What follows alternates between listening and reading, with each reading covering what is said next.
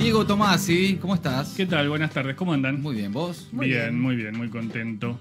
Hoy pido permiso para hacer un viaje a Japón, pero Sí. también a la infancia, a cierta infancia o algunas infancias, depende de la edad de cada persona también. Bien. Hoy voy a ir a Fujisawa, con el monte Fuji de fondo, en Japón, para hablarles no de un libro, sino de un dibujo animado. Hoy hablo de esto.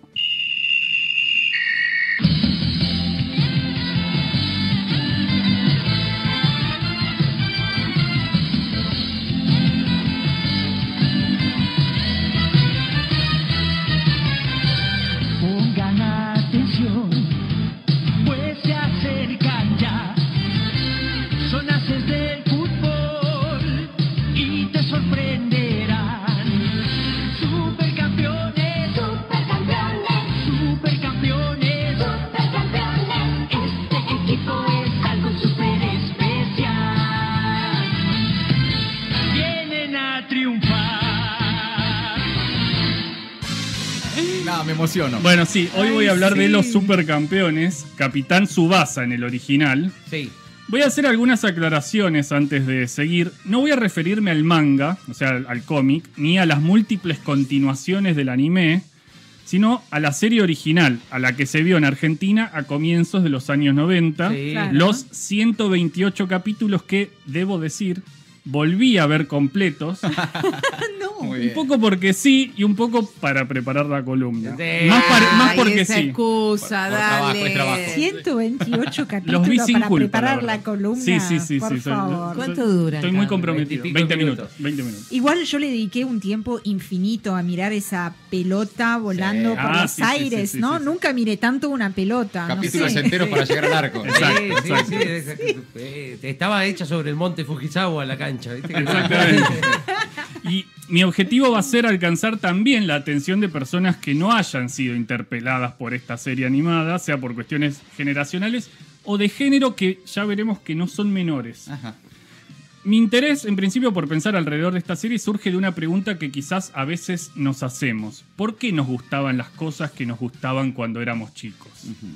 Hay algunas que no superan la prueba cuando uno es un adulto. Van a notar que hablo de una época puntual, pero se puede trasladar a otras.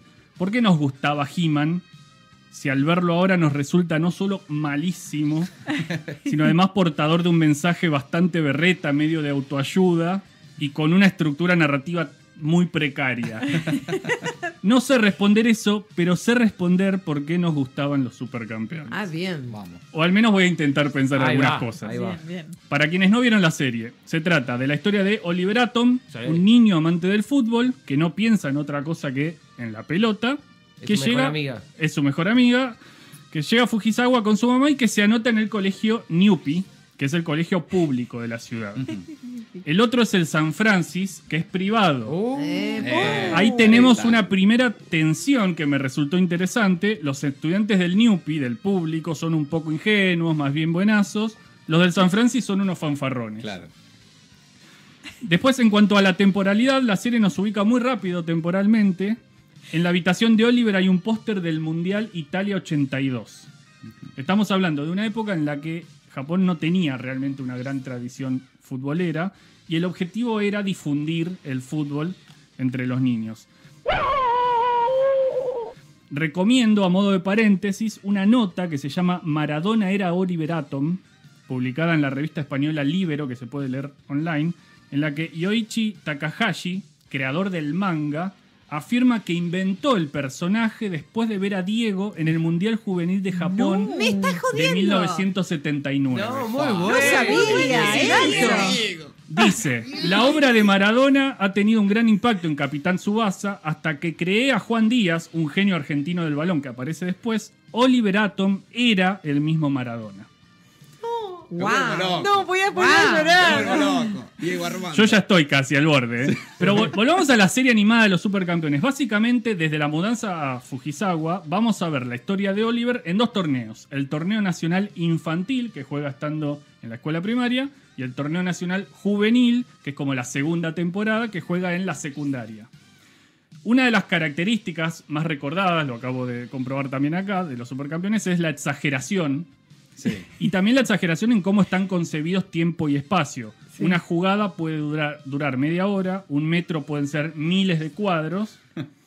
Y esto nos da pie para hablar de los recursos narrativos de la serie. Uno de ellos es la idea de que tiempo y espacio son flexibles. Claro. El partido puede durar 90 minutos en la vida real, pero en la ficción puede ocupar 15 capítulos. Claro. Claro. Sí, sí. Los jugadores pueden saltar hasta una altura ridícula. Sí. La pelota puede tomar efectos que nadie puede conseguir. Y es que ninguna de las leyes de la física aplica. ¿Qué aplica? Las reglas del juego en la infancia. Las reglas autoimpuestas por un niño jugando. Un espacio propio en el que nadie más va a decidir cuánto tiempo dura eso o cuánto espacio ocupa.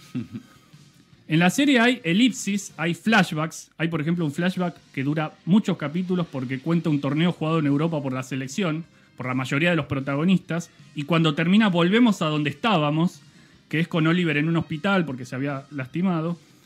Hay un recurso que a las personas adultas nos puede resultar molesto, pero que para niños es muy bueno, porque a veces hay mucha información para dar.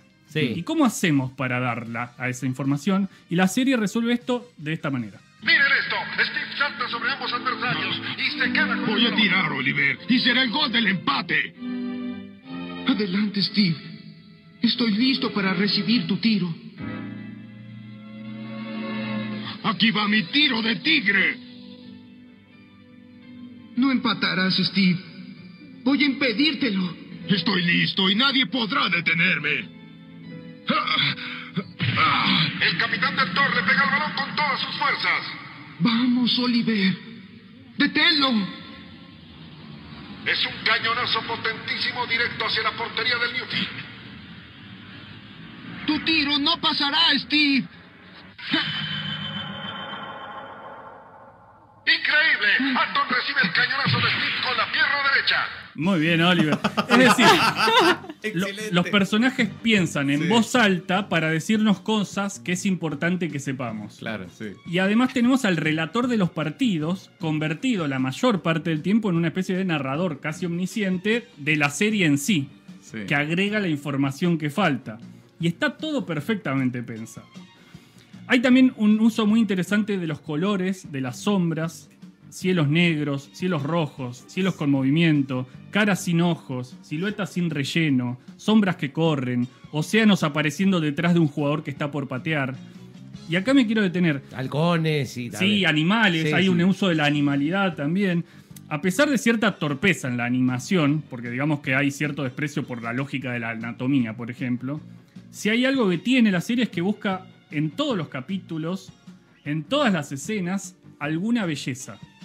Y hay, lo digo yo que vi los 128 capítulos de nuevo, muchos planos, realmente muchos planos de una belleza sobrecogedora. Sí.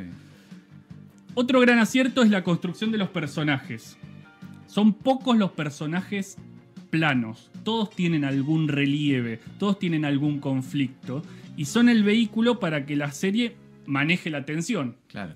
Cuándo avanzar, cuándo detenerse, cuándo girar para otro lado. Me parece admirable, pero conviene aclarar que esto refiere a los personajes masculinos, Ajá. a los niños. Sí. Porque en lo que refiere a los personajes femeninos, no hay nada de admirable en la serie. La serie tiene una mirada de género muy pobre, pobre incluso problemática. No porque esté esto problematizado, sino todo lo contrario. Está naturalizado que las mujeres ocupan espacios decorativos. Sí. O que son, se limitan a ser madres, enamoradas no correspondidas. Ellas solo piensan en ellos. Claro. Ellos Solo solo, piensan piensan- en la pelota. Sí. O porristas. Claro. Uno podría decir que la serie responde a un tiempo, a un lugar y a una manera de pensar o no las cuestiones de género muy particulares y que el público al que se le habla es masculino, pero nada de eso alcanza para justificar que básicamente el lugar en el que se pone a la mujer es horrible en, en toda la Claro, serie. claro. Volviendo a los niños que juegan, la historia que se cuenta es una historia de heroísmo, de redención, de chicos que quieren ganar para mantener a su familia o para fundarse a sí mismos en un futuro mejor y en un lugar mejor.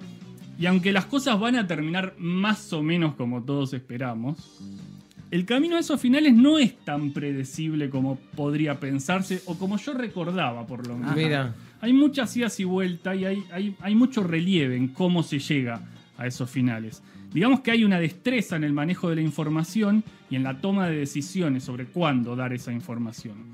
Hay un tema recurrente, la rebeldía ante la autoridad de los adultos, que están representados por padres o por entrenadores. Y la mayoría de las veces la postura de la enunciación es a favor de los chicos. Ellos tienen razón. Los adultos están equivocados. No solo eso, muchas veces los adultos son un impedimento para que los niños sean felices.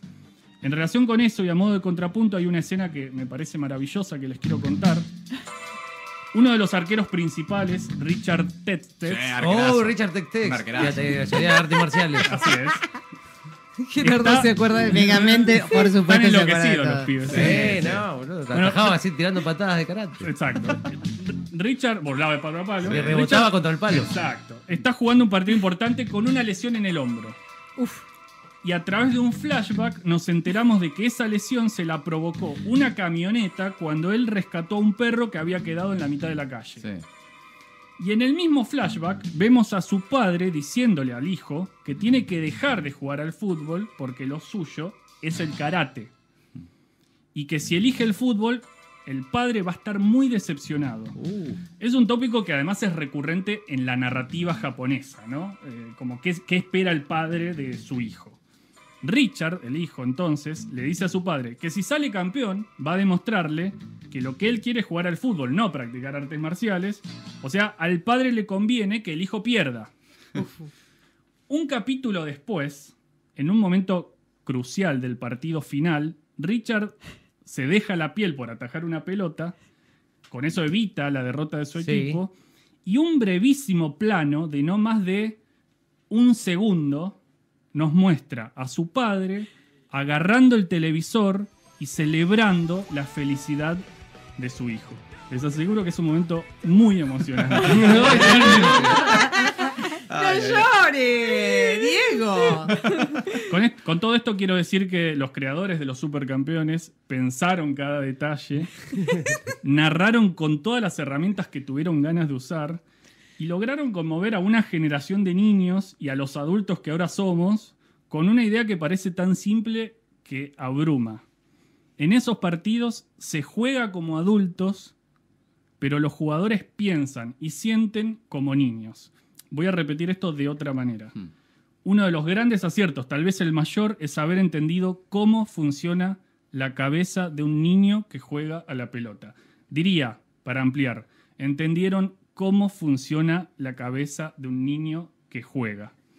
Y eso, ese entendimiento, la sutileza de ese mérito, es lo que hace que la serie siga funcionando todavía hoy, en las lágrimas de mis compañeros.